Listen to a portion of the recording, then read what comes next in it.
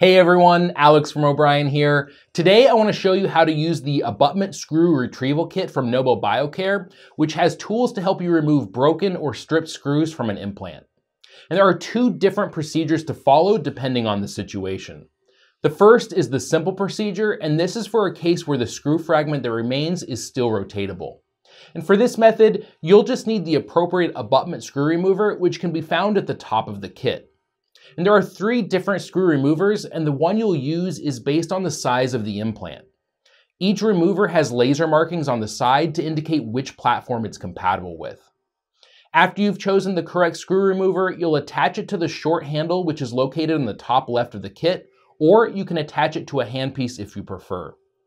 You'll then need to place the end of the screw remover onto the screw and while applying light pressure, rotate it counterclockwise. This will cause the teeth on the end of the screw remover to grab the screw and back it out. If you're using a handpiece, make sure that the speed is set to a maximum of 50 RPM. If you've tried the simple procedure but you aren't able to get the screw to rotate, then you can use the advanced procedure. The first thing you'll do here is select the appropriate rescue drill guide. There's a guide for each platform size of the conical connection, trilobe, and external hex Branemark implants. Next, you'll attach your drill guide to the guide handle and use that to connect the guide to the interface of the implant. This guide will center the reverse drill on the screw and provide support while drilling. Now, if the screw you're removing just has a stripped head and isn't broken, you won't need to use the drill guide and instead will use the reverse drill freehand. There are two reverse drills to use, one that works for the 3.0 and narrow platform implants, and the other that works for the regular, wide, and 6.0 platform implants. Connect the reverse drill to your handpiece and set your handpiece to reverse mode with a speed of 2000 RPM. Place the reverse drill into the drill guide and drill about 1 millimeter into the screw using irrigation and periodic air blasts. When complete, you can remove the drill guide from the implant.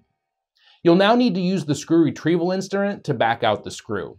Note that the screw retrieval instrument is not the same as the screw remover that was used in the simple procedure earlier.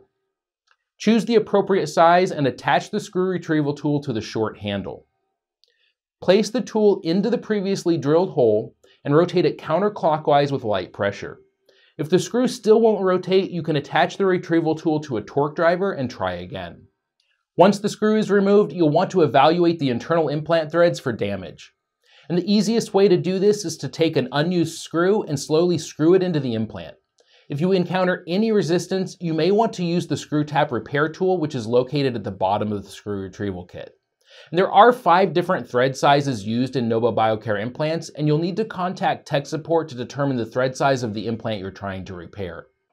Once you know your thread size, you can attach the appropriate tool to the short handle, place the tool in the implant, and turn clockwise to repair. I hope you found this video helpful, and as always, feel free to contact us with any questions. See you next time.